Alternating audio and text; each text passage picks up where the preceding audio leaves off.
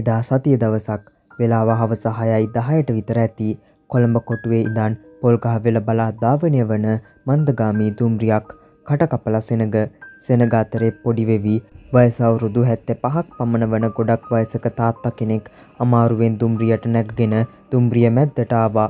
බැලූ බැල්මට යම් අපහසුතාවයකින් පෙළෙන බව පේනවා. දුම්රියේ ඉඳගෙන ගමන් කරන සෙනගටත් මේ වයසක කාන්තාව නොපෙනෙන ගානයි. සමහරක් අය මේ තාත්තා එයාලගේ මූණ බලද්දී බොරුවට නිදි වගේ ඇස් පියා ගන්නවා. ඔහොම ටික දුරක් දුම්රිය ගමන් කළා. රාගම දුම්රිය ස්ථානය පසු කර දුම්රිය බටුවත්ත දුම්රිය ස්ථානය කරා ළඟා වුණා.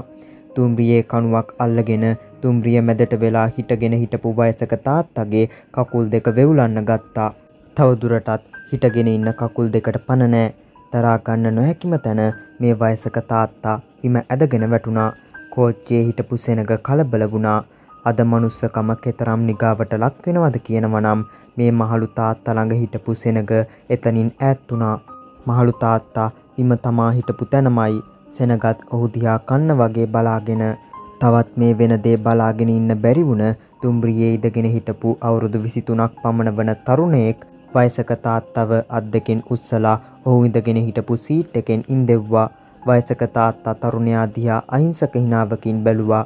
ඒම හිනා වුණ තාත්තා ඒ තරුණයාට මෙහෙම කිව්වා. මගේ පුතේ පණ අදිනකම්ම ඉන්න ඕනේද? බෙහෙත් දෙන්න. මං බිම වැටිලා නැගිට ගන්න බැරිව දගල දගල ඉද්දි මේ කෝච්චි පෙට්ටියේ හිටපු හැමෝම මන් දිහා බලන් ඉන්න වැරෙන්න. කවුරුත් මාව නැගිටවන්නවත් මගේ ළඟටවත් ආවේ නෑ. ඒත් පුතේ උඹලා දන්නවද?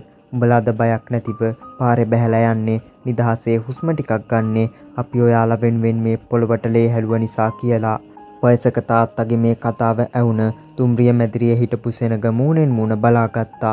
තාත්තේ ඔයා කවුද? වයසක තාත්තව අත් දෙකින් උස්සලා තම ආසනයෙන් ඉඳෙව්ව තරුණයා ඇව්වා. පුතේ මම හිටපු හමුදා නිලධාරියෙක්. මගේ මේ කකුල් දැන් පණ නැත්තේ උඹලා වෙනුවෙන් මේ රට බේරගන්න කාපු වෙඩි උණ්ඩ නිසායි. දුම්රිය මැදිරියේ හිටපු සෙනගට තම තමන් කරපු වැරද්ද තේරුම් ගියේ එවිටයි. ඔයාලත් මේ වගේ බස් එකේ කෝච්චියේ ගමන් කරද්දී ඕනතරම් වයසක අය බස් එකට කෝච්චියට නගින්න පුළුවන්. ඒ අය දැක්කාම ආක බලාගෙන යන්නේ නැතිව නිදි වගේ ඉන්නේ නැතිව නැගිටලා ආසනයක් දෙන්න තරම් කාරුණික වෙන්න. මොකද ඒ අයත් වයසට ගියේ රට වෙනුවෙන් වෙන්න පුළුවන්. තම තමන්ගේ මනුස්සකම රැකගන්න